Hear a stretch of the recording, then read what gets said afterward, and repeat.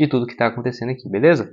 Vamos começar aqui falando então sobre esse portal português que fala né, um pouco sobre é, o Benfica e tudo mais, algumas informações e o mais importante, né? O Cruzeiro tem interesse no Cabral e aí o link aqui para o canal dele no YouTube. Valeu demais então para o Miguel Pereira, né? É, do canal 5 Minutos Benfica, que trouxe essa informação e fala aqui um pouco mais nesse vídeo de que o Cruzeiro é um dos interessados. Tô passando um período aqui na Hungria, tá gente? Então por isso que tá esses anúncios aqui meio, meio estranho.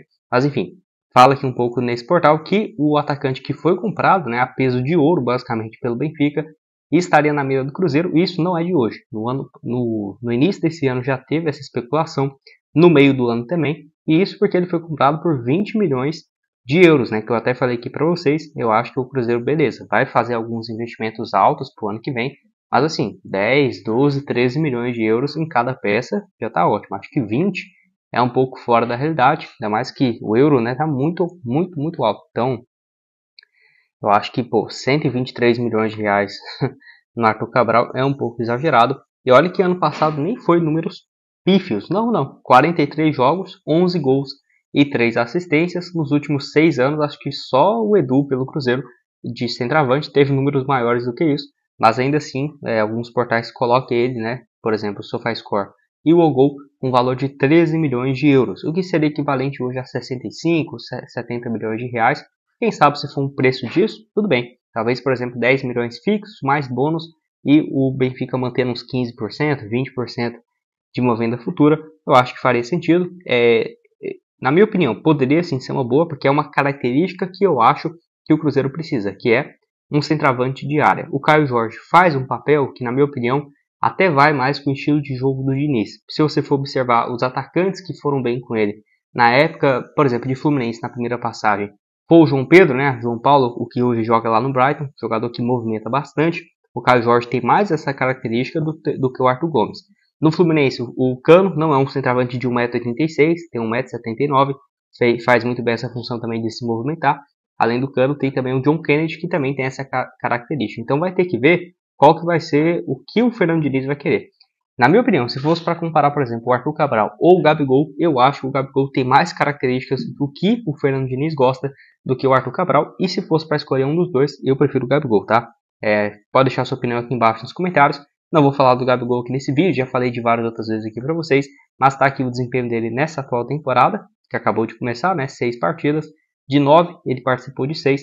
E do ano passado também está aqui, né? 28 jogos, 13 como titular na liga e apenas 6 gols marcados. Pode deixar sua opinião aqui embaixo, então, nos comentários se valeria a pena ou não, né? Uma investida de 60, 65 milhões de reais. Antes disso, eu quero destacar aqui para vocês os próximos jogos do Cruzeiro. Já fiz aqui minhas apostas para o Cruzeiro vencer. Vamos lá, o Cruzeiro vencendo então.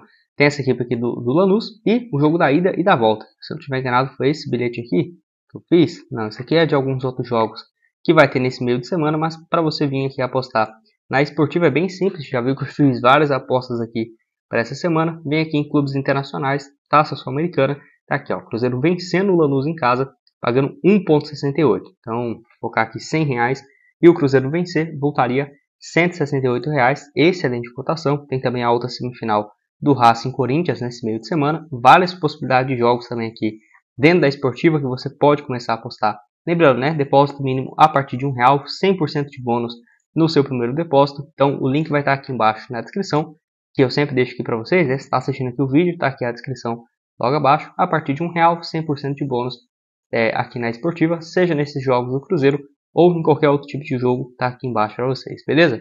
Então, bora falar aqui sobre essa outra. Aqui, ó. Não é só Everton Ribeiro, o Cruzeiro tem lista de antigos alvos que estão no Bahia, né? Então ele fala aqui nessa matéria sobre o Everton Ribeiro, que foi um nome né, do Cruzeiro especulado no início desse ano, antes dele assinar com o Bahia, ou no início do ano passado, né? É uma situação bem complicada, porque primeiro ano de volta à Série A e tudo mais, mas vale lembrar que ele foi especulado também em 2024 e vive uma fase muito boa, né? 49 jogos, 11 gols e 5 assistências, apesar aí dos 33 anos, vai completar 34 no ano que vem, vive uma fase muito boa. Aceitaria ele pro ano que vem? Com certeza. Acho que ele jogando de meio ofensivo, caindo o Matheus Pereira mais pelo lado direito, seria uma dupla sensacional. Mas não acho, é, tô vendo que é o Everaldo, não acho, por exemplo, que o Everton Ribeiro seria uma alternativa, 35 anos, né? Seria uma alternativa assim viável, porque será que o Bahia teria interesse em liberá-lo? Não acho que seja tão fácil assim. e ele saiu né, do Flamengo do ano passado, chegando esse ano, 6 gols e 9 assistências, marcou também aqui no último jogo contra o Atlético Mineiro. Então, essa questão aí é, do Bahia ter interesse em liberá-lo ou não, eu acho que complica um pouco. Lembrando, o contrato dele vai até o final do ano que vem, então quando terminar o seu vínculo ele já vai estar com 36 anos, e aí não sei se o Cruzeiro teria o maior interesse do mundo em voltar, a, a não ser que seja, sei lá, para repatriar o jogador ou algo nesse sentido. Vale lembrar que o Pedro Lourenço gosta bastante dele, porque foi ele que trouxe né, é, o, o Everton Ribeiro para o Cruzeiro em 2013, foi muito importante, até ser vendido para o Al-Ali do, dos Emirados por 15 milhões de euros em 2015. Pode deixar sua opinião aqui embaixo, você acha que seria interessante essa volta, não seria? Estou curioso para ouvir sua opinião aqui embaixo. Para ser uma opção de meia, e o Matheus Pereira né, podia jogar tranquilamente com ele, é, seria um baita problema né, para o Fernando Diniz ter dois jogadores assim tão bons tecnicamente. Outro aqui que eu tinha mostrado é o Everaldo, jogador que seria uma opção para centroavante. É, até matéria aqui do Globo Esporte fala sobre isso, né? De que, por exemplo, o Gilberto já teve uma ótima passagem no Bahia, voltou para o futebol brasileiro e para o Cruzeiro e não teve uma passagem tão boa assim, né? O Everaldo foi muito criticado pela torcida do, do Bahia. Não acho que seja um alvo interessante para o Cruzeiro, não, tá? Porque eu acho que o Dineno, por exemplo, é uma opção boa. O Caio Jorge também é bem jovem. Se for para chegar um centroavante, que chegue um que seja para ser titular absoluto. Contrato só até o final do ano que vem, 11 gols na atual temporada. Tem conseguido né, se reerguer nessa reta final de Brasileirão, onde tem 8 gols. E ano passado havia marcado 20 gols também em 60 jogos. Né? Então ele ficou 40 jogos sem marcar, que é muita coisa para um centroavante. Né? Apesar de 20 gols ser muita coisa, mas em 60 partidas é, não é um desempenho assim sensacional. Ainda mais se você for considerar né, que tem muitos gols no estadual e tudo mais, início de fase de Copa do Nordeste, o que sem dúvidas acaba inflando né, os números. Ó. No Brasileirão mesmo, 9 gols e na Copa do Brasil 2. Então, 12, 13 gols importantes durante uma temporada é pouca coisa. Pode deixar sua opinião aqui embaixo, se você concorda ou não. Isso por a atual situação do Cruzeiro financeiramente, né? Porque se fosse no ano passado, aceitaria com um real. Bora falar então sobre essa história envolvendo o Keno, que está aqui, ó, a informação de que o Cruzeiro teria interesse nele para o ano que vem. Não é uma história nova, igual falei no início do vídeo, tanto na gestão do Ronaldo quanto agora do Pedro Lourenço, teve essa especulação, ainda mais sendo um jogador que foi contratado pelo Alexandre Matos no Palmeiras e trabalhou no ano passado com a equipe do Fluminense com o técnico Fernando Diniz, né? Então assim, ele jogou como titular nos últimos dois jogos do Fluminense, contra o Atlético e contra o Cruzeiro, é, o último jogo dele inclusive, porém vinha de uma sequência sendo muito mais reserva nessa temporada. Né? Não é à toa que, por exemplo, no Brasileirão, só 19 partidas e um gol marcado. No Fluminense, no ano passado, foi uma situação parecida também, né? Jogava o Keno e o John Arias pelas pontas, e aí, no início do ano, ele era bem mais reserva, no final acabou sendo uma peça importante, principalmente na Libertadores. Se você vê aqui, por exemplo, o Keno na Libertadores, jogou a final contra o Boca Juniors e tal. Então é um cara que tem uma confiança muito grande no técnico Fernando Diniz e já era de se esperar, né? Tá aqui, ó, final dele com uma assistência, foi bem também nas quartas contra o Olímpia, podendo jogar de ponta esquerda e ponta direita, que seria uma das carências, né, do Cruzeiro no atual elenco. É claro, ele joga muito mais pelo lado esquerdo, posição que o Cruzeiro, ok, tem algumas alternativas, mas não é um grande problema não colocar o Keno ali pelo lado direito, né? Então assim, a grande questão que eu ficaria com o pé atrás é o seguinte: ele já tem 35 anos de idade, né? Eu acho que se fosse, por exemplo, jogador que estivesse livre, é, a janela já tivesse fechado, só podia contratar jogadores que estariam né, nesse período e o Cruzeiro, sei lá, vendeu um Arthur Gomes, machucou um Gabriel Veron, igual foi, beleza, chegando de graça, o mercado fechado, beleza. Mas agora o Cruzeiro tendo um valor muito alto para investir no ano que vem, aí eu já ficaria com o pé atrás, né? Porque poderia ir atrás de opções melhores, a não ser que seja o último caso, né? Ah, ou o Cruzeiro contrata o Keno ou vai ficar com só um reserva, por exemplo, na ponta direita, na ponta esquerda. Beleza. Mas caso contrário, já acho que né, 35 anos, vai fazer 36 no, no ano que vem. Eu acho que é uma idade bem avançada, ainda mais para um ponto, né? Ponta esquerda, ponta direita.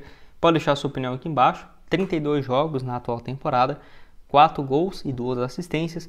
Ano passado bem melhor, né? Com 5 gols e 13 passes. Lembrando também que ele jogou no Atlético Mineiro durante 3 anos até ir para o Fluminense, onde o Fluminense pagou ali na casa de 6 milhões de reais e o Atlético tinha comprado por na casa de 12 milhões quando ele saiu lá dos Emirados Árabes. Deixa a sua opinião aqui embaixo. E outra aqui também que eu trouxe para vocês ontem, e alguns de vocês gostaram né, dessa possibilidade, é o Gilberto, lateral direito, então, que jogou junto com o Fernando Diniz no Fluminense, naquela época ali 2019, 2020 e tudo mais, que foi o melhor momento da sua carreira. Naquela época ele foi vendido para o Benfica por 18 milhões de reais, justamente pela boa fase que ele estava no Fluminense. No Benfica jogou algumas partidas, foi titular e tudo mais. Ó, se você for ver, são pelo Benfica um pouco mais de 105 partidas, marcou 8 gols e 7 assistências, não foi um desempenho ruim, mas no Bahia, desde quando ele chegou no ano passado, tem sido mais reserva do que titular. Lembrando que o Bahia pagou para comprar é, os direitos econômicos dele junto ao Benfica, algo na casa de 13 milhões de reais. Então, se o Cruzeiro quisesse, eu acho que teria que ter uma pequena compensação, quem sabe 8, 7 milhões, porque o Bahia também já tem dois jogadores para essa posição, né? Então tem o, o Arias, lateral colombiano, tem o Cicinho também que tem jogado até com mais frequência e a terceira opção é o Gilberto, certamente com um salário alto e o contrato longo até o final de 2026. Eu sinceramente acho uma baita opção para ser um reserva imediato do William, né? Até porque ano que vem acredito eu que o William vai ser convocado mais vezes, o Matheus Pereira também. Então é bom ter um reserva à altura. Eu acho que o Gilberto aqui poderia ser uma baita opção. Muito boas passagens, né? Tanto aí nessa última com o Fluminense, com o técnico o Fernando Diniz. Então acho que faz um pouco de sentido. Você concorda comigo? Discorda? Pode deixar sua opinião aqui embaixo, só para você ter ideia o quão que ele tem sido reserva no Bahia. O último jogo dele foi no duelo contra o Fluminense em agosto, né? E não é porque ele está lesionado nem nada, até foi relacionado para um jogo aqui contra o Flamengo em casa, no, no mês de outubro, é porque realmente não é uma opção. E o último que ele jogou como titular foi aqui no duelo contra o Atlético Paranaense, ainda em julho. Pode deixar sua opinião aqui embaixo. Vou deixar também outras sugestões de vídeos aparecendo para vocês e o link da esportiva está aqui embaixo.